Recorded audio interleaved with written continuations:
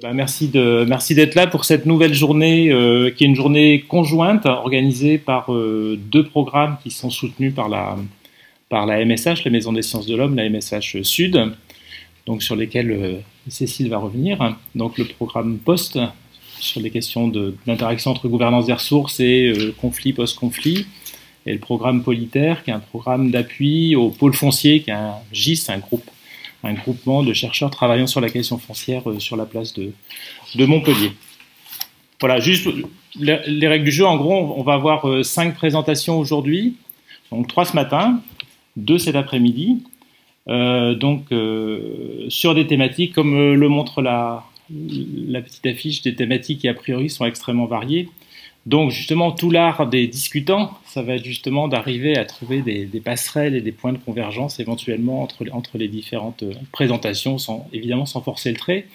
Donc trois présentations ce matin, donc Pauline Benjebar, Université Paris-Est sur euh, Ouganda et Bénin, Victoire, Victoire Chalin sur euh, l'Ouganda aussi, pardon.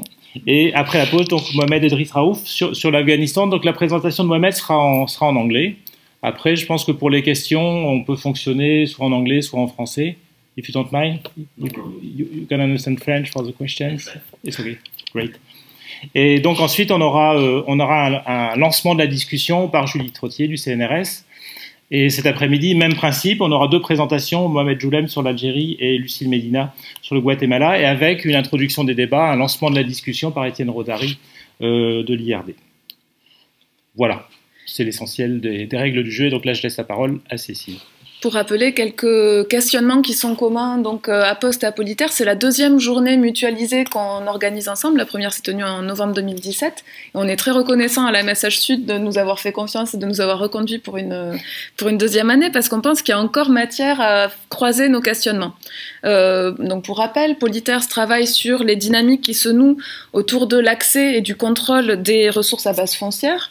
Tandis que Post, lui, euh, comme euh, équipe projet, réunit des chercheurs qui se penchent sur la sortie de guerre en les prenant au prisme des politiques des ressources qui y sont menées.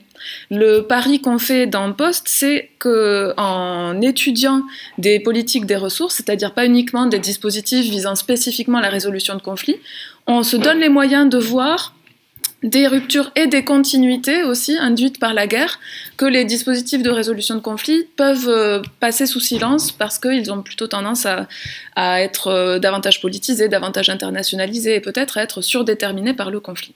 Donc il nous semblait particulièrement intéressant de croiser cette interrogation du projet Post avec euh, la recherche de longue date menée sur le par le pôle foncier parce qu'on se dit qu'en se penchant sur les politiques des ressources à base foncière, on a des moyens de comprendre les donc les ruptures et les continuités euh, en guerre et en sortie de guerre. Et c'est déjà ce que nous avait montré la journée de, de 2017, qui euh, d'une part avait rappelé que à quel point la prise en compte de ces questions foncières aide à renouveler déjà la réflexion sur les conflits contemporains. C'était Jean-Pierre Chauveau qui nous avait expliqué à partir du cas de la Côte d'Ivoire que euh, ce conflit, souvent abordé en termes de conflit ethnique ou d'État failli, comportait en fait une importante dimension foncière, bien qu'il ne s'y réduise pas, qu'il était fondé sur des violences entre fractions paysannes autochtones et fractions paysannes migrantes, l'autochtonie n'étant pas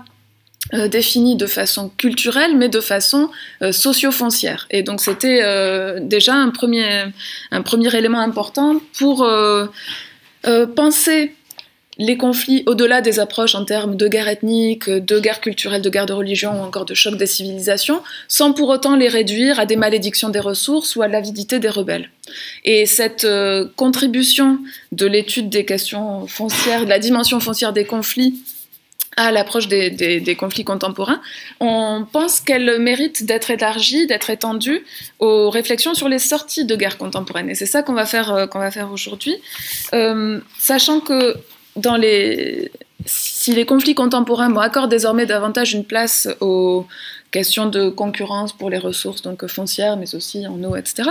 Euh, dès qu'on passe à des situations qualifiées de post-conflit, là, les politiques des ressources sont négligées au profit, comme je vous le disais tout à l'heure, des dispositifs judiciaires, des dispositifs de démobilisation des combattants, de dispositifs de réforme électorale qui ont l'air de capter la majeure partie de l'attention des, chercheurs.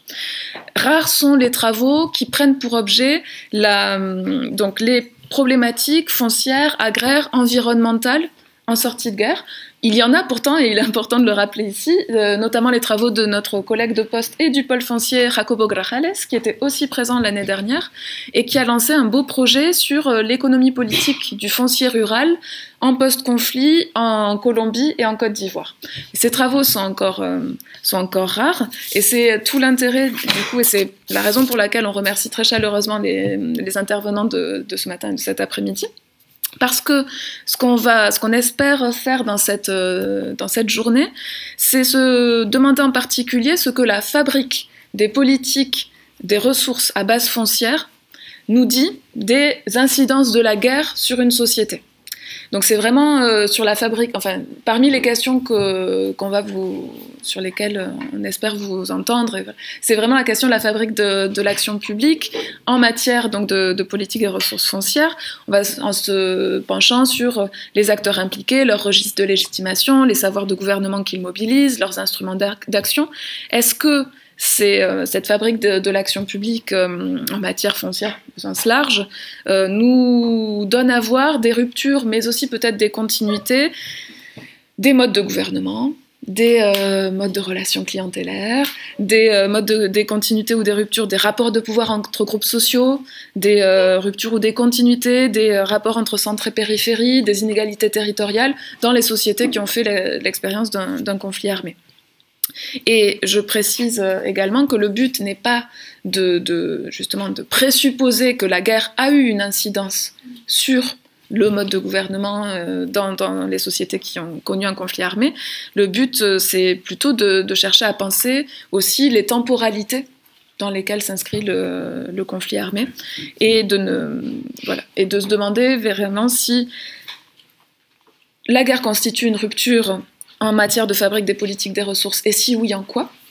Euh, Sinon, quelle continuité de pratiques, de normes, de relations sociales observe-t-on?